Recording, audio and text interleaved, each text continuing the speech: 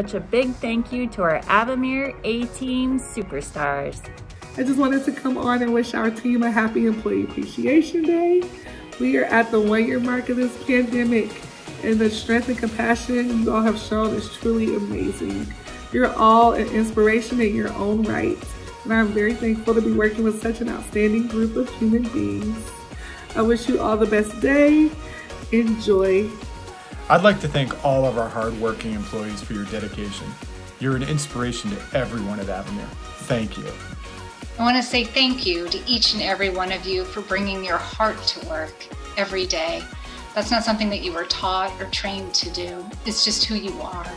You've been a lifeline to one another, to the, our seniors, and the families that we serve.